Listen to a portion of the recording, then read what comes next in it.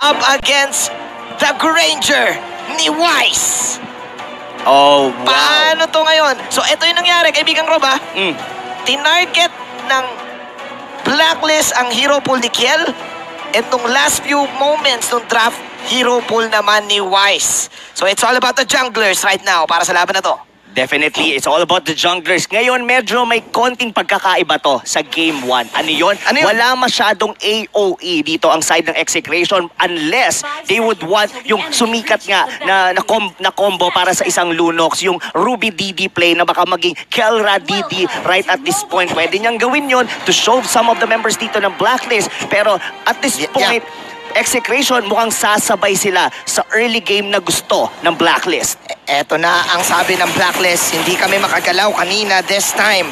May make sure namin na sa amin ang game number 2. Wise S on Venus. The mid 3 ng meron ng Blacklist. Sila naman this time ang magtatabi-tabi. Nabati ko ang ating main observer na si Dap for this game. So looking at it, Rob Luna, it's going to be Oheb versus Kelra once again. Parehas na best picks. Si Kelra, best pick niya rin yung Harit. Mhm. So alam niya ngayon yung mga possibilities na pwedeng gawin ni Oheb. Pero again, pag binigay mo kay Oheb yung, Ar- yung Harit, may mga times na nagbubuhat eh. Sa Di ba? kanina, nung game 1, halos na nag-lock item si Oheb. Oo. Nagawa niya yung kailangan niya. Yun nga lang kinapos talaga sila on the late game given na nakapag-farm din sila kay LVJ. But this is a different hero na hawak ngayon ni The King. This is the Roger wherein pwede tong magkaroon ng initial burst Correct. with the Lycan Pounds and baka masundan pa with the burst damage na manggagaling dito kay Kelra. Single target mechanical outplays ang gustong gawin ng Exe. Para I just want to remind you, four flickers ang meron sa side ng Execration. Meanwhile, iwas posoy muna ang Blacklist International with the Purifies na meron sila. So I think this time, alam ng Blacklist na susugod muli ang Exe because of this Jawhead and because of yung kakasabi mo nga lang, Roger Pounce. Parang ganito. Here we go. Pounce in mula kay Kiel. Oheb, Nakita mo yon kaibigang Rob? Yung, yung threat na binibigay ng isang Roger. Yes, pero ito na. Ito ang dito talaga magkakaalaman yan, Manjin. Dito sa mga objective early on. Itong turtle na to ang ganda ng Okay. positioning dito ng mga members ng Blacklist. A Okay. secure turtle para dito kay Wise. So, kung iisipin mo rito, paano ba magpa-pan out ang, Mhm. ang, ang mga team fights natin dito? Ah, kung titignan mo for execration, it's all about Etomax. Sa Yeah. paglagay niya ng real-world manipulation. But Edward, Oh. delikado yung Ina- pasok dun. Inabangan si Edward. In-expect ng Exe yung switch na ginawa this time ng Blacklist International. So may libreng turret gold na makukuha doon sa top lane. But meanwhile, sabi ng Blacklist, teka lang, lipat muna tayo sa bottom side. Knockout tayo ng orange.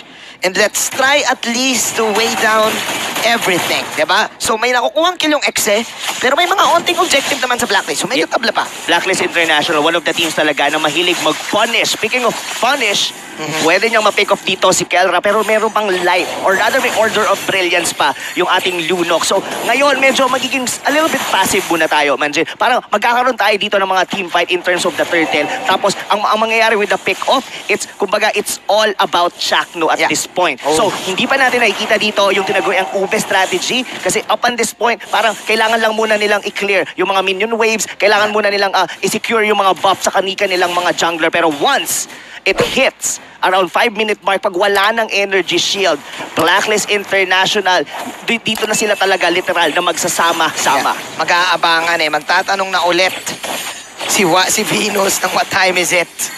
At ganun na nga nakikita natin. Medyo chillax muna ang dalawa. Pero sabi ng ex eh, kailangan nating targetin si Edward. Nag-pop na ngayon ng pang-amoy si Kiao VJ. Edward will pop his ultimate to get out of the way. So, nanti-threat lang muna ang ex eh. Nakaabang ang blacklist. Stun coming in from the Rafaela. Jackno will pop the ejector shield. Wise! Ooh! Kinulang pa! Buti na lang kamo nakapag-shield si Jackno. Pero sabi ng blacklist, sa amin na lang muna ang turtle. Yes, since na-poke ng maigi doon si Chakno, ang ganda rin kasi ng abang nila dyan sa death brush na yan. With the holy baptism na magagaling kay Ezon, muntik-muntik pa nga doon yung, ah, yung uh, Johen. Pero nag-result kasi lahat yon ngayon with the perfect na defense ni Edward dun sa may top lane. Perfect positioning ng kanyang Electo final blow kaya hindi nakabasag ang Totoo. execration on the top lane. Wow, this is vintage again. Blacklist International. Kumbaga para silang ano eh, defense is the best offense. Sila yung mga talagang mag-aabang dito. And alam nila na paparating yung sugod lagi ng Exe. Kaya hindi agad-agad nakakakill ang execution. Napapaturo ka dito pare kay Da- Edward sa kanyang item. Ano yun? Dahil yung Hunter Strike eh available na ngayon dito kay Edward. Ito yung isa sa naging susi niya sa kahuling laro niya with the Benedetta kung, ba, kung paano siya nakakaikot ng mas mabilis sa mapa. Kahit iwanan mo yung Benedetta sa may top lane at pag nagsama-sama ng mga members ng Blacklist, ang bilis niya na makaresponde. Pero yung raw damage coming from KLBJ Oh will be enough. The double K is now online in the top lane. Ito na ba ang pagbawi ng Blacklist? Isang mabilis na kill para kay Renjo. But look at this, Kelra and Kiel working together.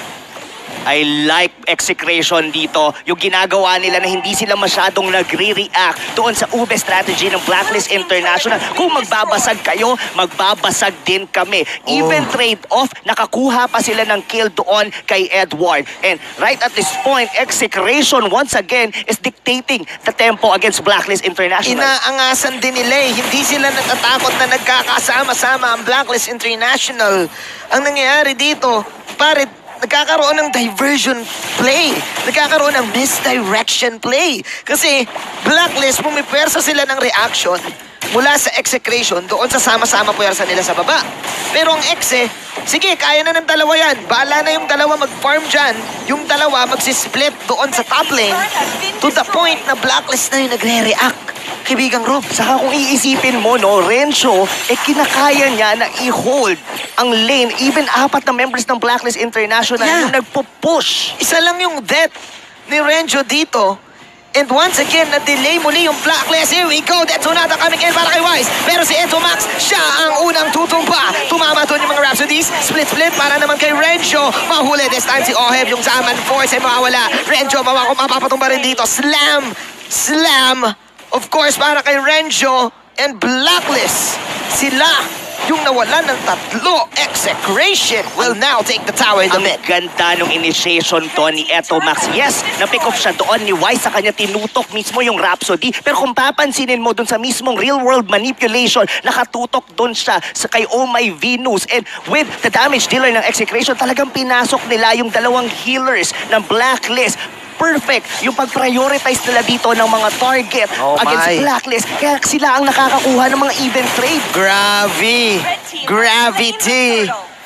Even though nakaka-trade ang Exe, Blacklist na nakakuha ng Turtle, pero in terms of team fight, Exe ang nagwawagi. Kiel Rabbit niligtas ni Chaknu. What an ejector! Grabe yung presence of mind doon ni Chakno. Alam niya na hindi naka-ready yung Order of Brilliance doon ni Kelra. Saktong pagbato na buhay Oh. pa yung Lunox. Blacklist International, kanina pa sila attempt ng attempt forcing reactions for the side of Exe. Pero kapag nagre-react naman yung Exe, nagkakaroon yung Exe ng mga outplay movements. Yung focus firing ng Exe dito, pare, laging on point. Laging merong isang target. Tapos bigla na lang nawawala.